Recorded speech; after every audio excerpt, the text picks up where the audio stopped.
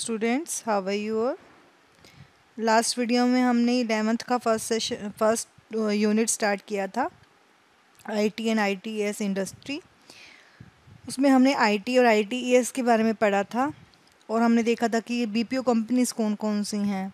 अब हम आगे पढ़ेंगे सब सेक्टर ऑफ़ आईटी इंडस्ट्री के बारे में।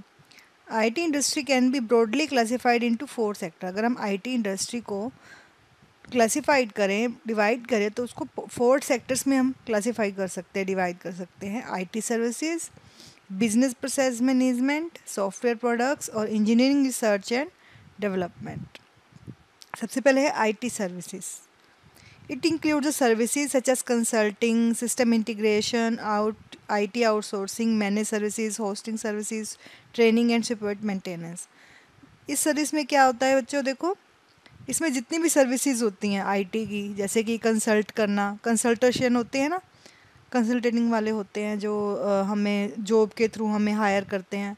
सिस्टम इंटीग्रेशन सिस्टम इंटीग्रेट करना, इकट्ठा करना सिस्टम को, उसको सॉफ्टवेयर को बना के उसको इंटीग्रेशन करना। आउटसोर्सिंग मतलब जो आउटसोर्सिंग का मतलब क्या होता है कि ऐसी मेन कंपनी जो दूसरी कंपनी का हेल्प करती है उस, उनकी प्रोडक्ट को मेक करने में बनाने में, ठीक है? जैसे मान लो एक मेन कंपनी है, बड़ी कंपनी है, कोई प्रोडक्ट बनाती है, उनके पास कुछ ऐसे प्रोडक्ट नहीं है या कुछ ऐसा सॉफ्टवेयर नहीं है तो वो दूसरी कंपनी से हेल्प लेती है, दूसरी कंपनी उसको हेल्प करती है और उनको प्रोडक्ट उनको सॉफ्टवेयर बना के देती है। तो वो क्या होती है, एक तरह से आउटसोर्सिंग होती है। तो मैनेज सर्विसेज़ सर्विस मैनेज करती है होस्टिंग सर्विसेज़ करती है ट्रेनिंग देती है और मेंटेनेंस का काम करती है। तो सब आईटी सर्विसेज़ में आ जाता है।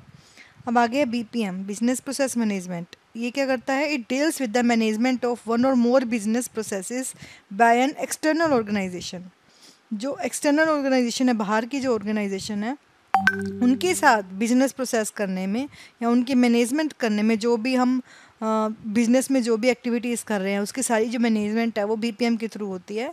That in turn owns and manages the selected processes based on define and measurable performance metrics मतलब कि ये डिपेंड करता है कि हम कौन सी प्रोसेसेस उसके अंदर कर रहे हैं, कौन सी प्रोसेसेस चल रही हैं, जब हम एक्सटर्नल ऑर्गेनाइजेशन के थ्रू कुछ बिज़नेस कर रहे हैं तो उन प्रोसेसेस के थ्रू ही हम उसकी परफॉर्मेंस को देख पाते हैं और मैनेज कर पाते हैं। नेक्स्ट है सॉफ्टवेयर प्रोडक्ट सॉफ्टवेयर प्रोडक्ट क्या होता है? It is the IT industry segment providing services in the area of software products ये भी एक तरह से सर्विस ही आईटी की, जिसमें हम सॉफ्टवेयर प्रोडक्ट्स अवेलेबल करवाते हैं through all of any of products life cycle किसी भी टाइप की लाइफ साइकिल में। इंजीनियरिंग रिसर्च एंड डेवलपमेंट इस सर्विसेज़ में क्या होता है? Those that augment or manage process that are associate with the creation of product or services जो क्रिएशन के साथ भी काम करता है और उसकी सर्विसेज़ के साथ भी काम करता है।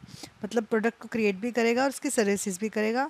एज वेल एज दो associate with maximizing the life span and optimizing the yield association with the product or asset मतलब उस प्रोडक्ट का मेन जो काम है, उसकी क्रिएशन उसकी असेसमेंट उसकी जो भी उसके अंदर उसकी ऑप्टिमाइजेशन हो रही है या काम हो रहा है, उसको आगे सेल करना, उसका मैक्सिमाइजिंग उसको सेल करना, उसकी एम्पावरमेंट बढ़ाना तो ये सब जो है हमारे इंजीनियरिंग रिसर्च एंड डेवलपमेंट में होता है।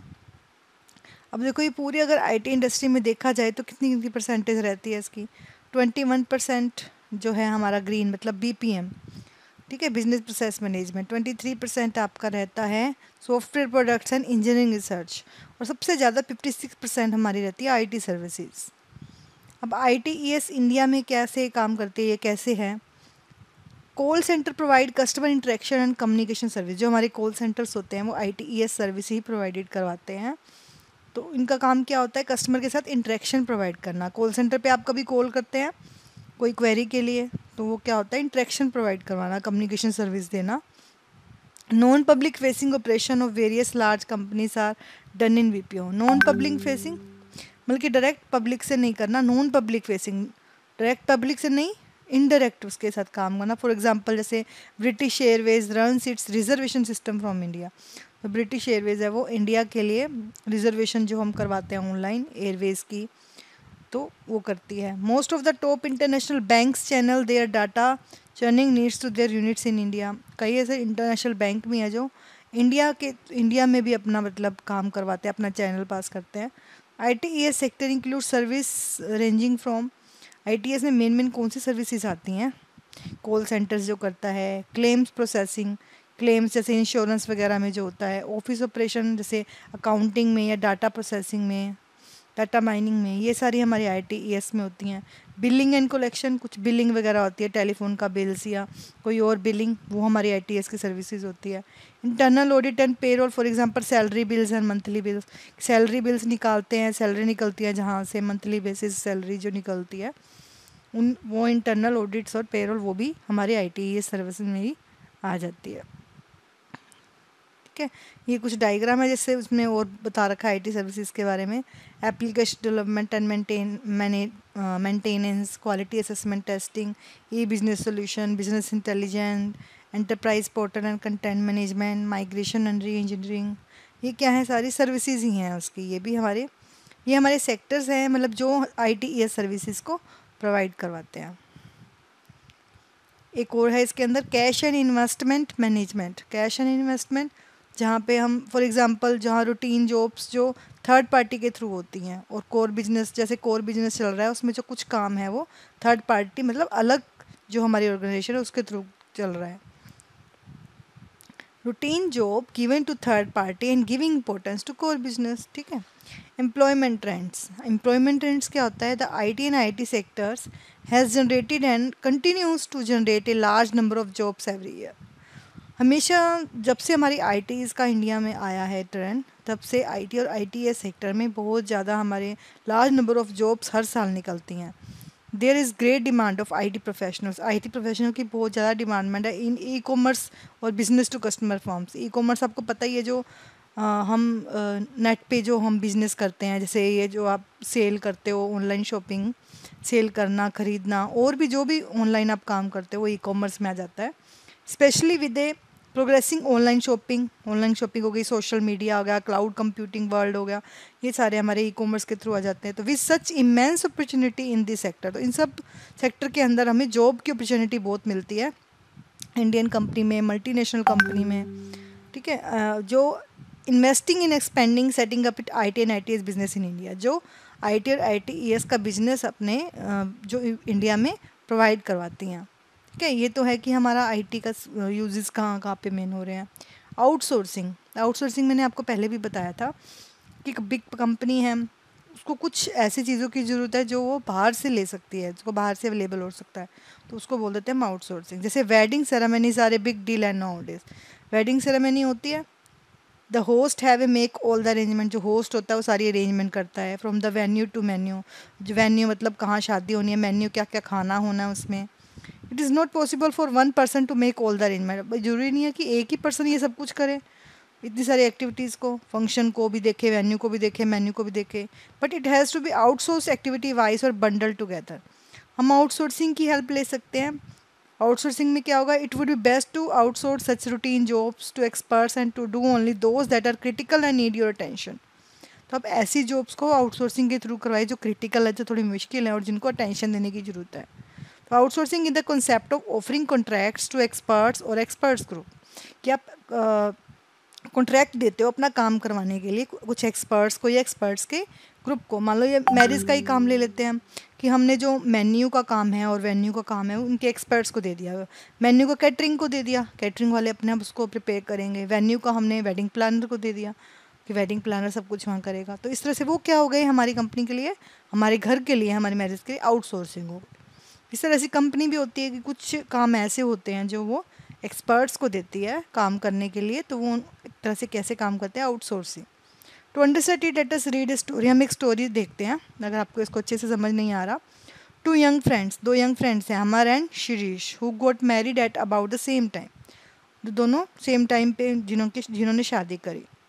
Amar try to make all the wedding arrangement himself Amar ने खुद चाहा कि मैं सारी अरेंजमेंट्स अपने आप कर लूँ। In the process there was a great confusion. पूरी प्रोसेस में उसको बहुत कन्फ्यूज़न हुई वेडिंग वाले दिन। The kitchen ran out of the food, kitchen में खाना ही ख़त्म हो गया। The fan stopped working, fan काम करने बंद कर गए। The workers ran to Amar to every day, little little thing, एक एक चीज़ के लिए अमर के पास आए। Amar was busy attending to them और while the unhappy guest started to leave. जो गेस्ट हैं वो छोड़ना स्टार्ट कर गए इनको खाना नहीं प्रॉपरली मिल रहा था। Finally the bride too left उसके बाद ब्राइड भी चली गई। तो Shirish on the other hand choose to पर ये तो हुआ अमर का काम। कि उसने क्या किया? उन्होंने सोचा, सारा काम मैं खुद ही कर लूँगा, सारी प्रोसेसिंग में खुद कर लूँगा। जिस दिन शादी हुई, उस दिन खाना भी ख़त्म हो गया फ़ैन भी काम करने बंद कर गए और सारे के सारे गेस्ट भी चले गए। फाइनली उनकी, उसकी ब्राइड भी चली गई। तो ये तो हुआ हमारा अमर की बात। अब शिरीष ने देखो क्या किया, इसने एक अकलमंद वाला काम किया, उसने आउटसोर्सिंग चूज़ करी। आउटसोर्सिंग रूटीन जॉब्स के लिए उसने क्या किया? मैं जो उसने कैटरिंग को हायर किया कैटरिंग जो कि खाने का काम देखेगी वेडिंग प्लानर को हायर किया जो वेडिंग प्लानर जो पूरी प्लानिंग देखेंगे पूरी डेकोरेशन वगैरह। On this wedding attend to his guest और उसका पूरा कंसंट्रेशन किस पे था? गेस्ट को अटेंड करने का। तो his wedding was happy and memorable affair उसकी जो वेडिंग थी वो हैप्पी और मेमोरेबल रही।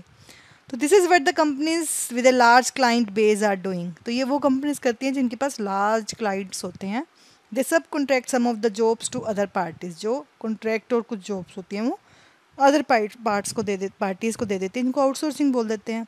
तो job that are subcontracted are day to day jobs जैसे हैंडलिंग कस्टमर क्वेश्चन और कंप्लेंट्स कुछ कस्टमर की क्वेश्चन और कंप्लेंट्स को हैंडल करना preparing the salaries for their employees employees की सैलरी प्रिपेयर करना telemarketing their products products की टेली मार्केटिंग मार्केटिंग करना ऐड करना collecting money from customer sending out the bills and other process तो ये इन कामों के लिए वो आउटसोर्स को, अलग पार्टीज़ को कॉन्ट्रैक्ट दे देती हैं। These jobs are taken up by B in jobs को, जिनको वो देती हैं आउटसोर्सिंग को, उनको हम बोल देते हैं B P O business process outsourcing ठीक है? जो उनकी हेल्प करते हैं, जिनको वो कॉन्ट्रैक्ट देती है, उनको क्या बोल देते हैं? B P O well the main work of production management और the business of branding remains with the company company सारा काम करती है प्रोडक्शन का मैनेजमेंट का, लेकिन जो ये जैसे आपको काम बताए हैं, सारे किसको दे देती है? बी पी ओ को आउटसोर्सिंग को. दिस हेल्प्स कंपनी से क्या होता है? उसका टाइम बचा, उसकी कॉस्ट बची रिसोर्सेज कम लगे, एफिशिएंसी इंक्रीज़ हुई और उसकी जो जो प्रॉफिट है वो भी इंक्रीज़ होगा। तो to a company, this would be the business of making profits and growing. तो this is all about outsourcing और आईटी सर्विसेज़ के बारे में पढ़ा हमने, ट्रेंड्स के बारे में पढ़ा। आई होप आप लोगों को समझ आ गया होगा। नेक्स्ट वीडियो में हम आगे कंटिन्यू करेंगे। Thank you. Have a nice day.